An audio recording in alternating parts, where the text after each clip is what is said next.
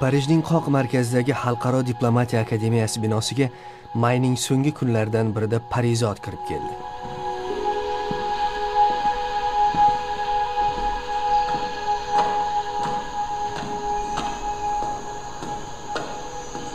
Bu yerda nima qilyapsiz singlim parizodni parijga o'zbekistonning taniqli adibi erkin a'zam yetaklab keldi bu kino uchun parijdagi eshiklarni o'zbekistonning yuneskodagi elchisi lola tillayeva karimova ochgani ham rost.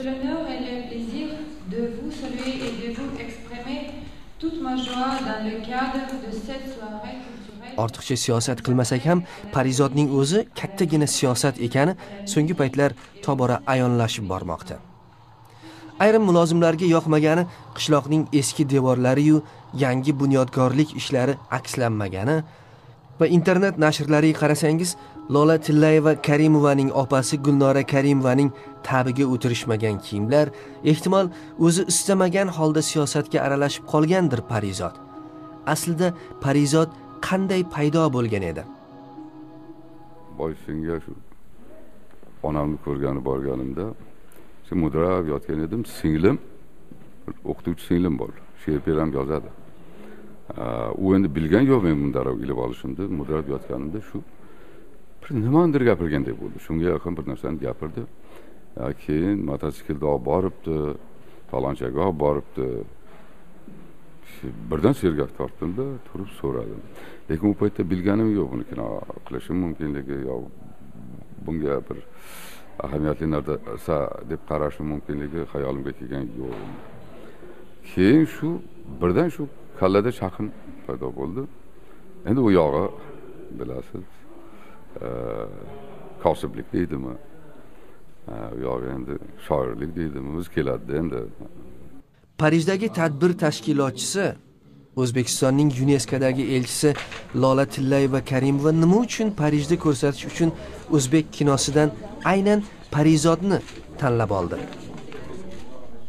Мы рады, что у нас э, есть такая возможность сегодня представлять фильм Аркина Акзама здесь, в Париже, э, французскому зрителю.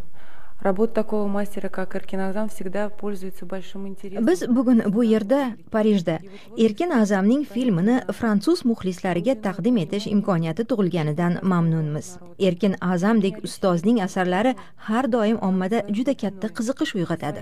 Uning ijodi oddiy xalqning hayotini chuqur tushunish niyati bilan yo'g'rilgan shaxsan menga bu film o'zining teranligi insoniylik ideallari inson qalbining axloqiy ideallarga talpinishi bilan katta ta'sir ta'sir qildi. Bu kabi filmlarni bugunda namoyish qilish juda muhim chunki ular bizning adabiyotimiz va madaniyatimizni boyitadi. Biz erkin azam bilan hamkorlikni davom ettirish uchun vakolatxonamiz qo'lidan kelgan barcha ishni qilamiz. Kelajakda biz albatta uning kitoblarini fransuz tiliga o'giramiz chunki biz uning fransuz muxlisiga ne qadar qiziq ekanligini anglab yetdik. Bu filmni iqtidorli rejissyor ayub shahobiddinov suratga olgan. O'zbekistondagi eng zabardast yozuvchilardan biri erkin a'zam bugungi bir qaynonaga bir kelinga qasdlangan videochilardan ming marta farqli o'laroq original filmlar mualliflaridan biri sanaladi.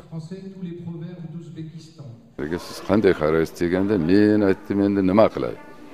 Bizni yoshlarimiz haligi ko'cha ko'yda sandiroqlab yurgandan ko'ra Э, yoki bir haligi giyoh piyohga qiziqib qolgandan ko'ra ipodromda masalan e, arava tortib yurgandan ko'ra keling kino olsin.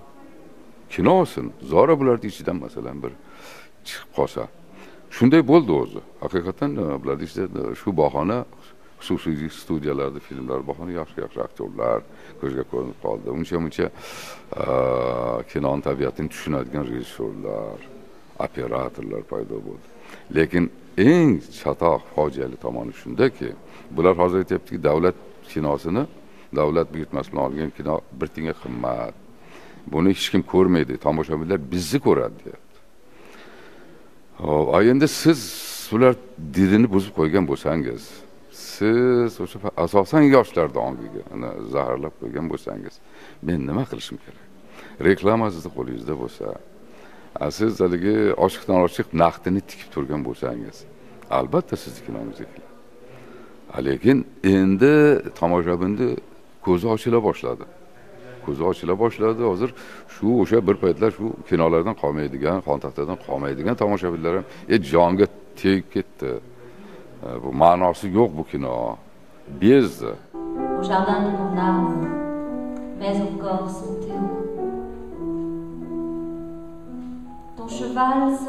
xullas parijning qoq o'rtasida.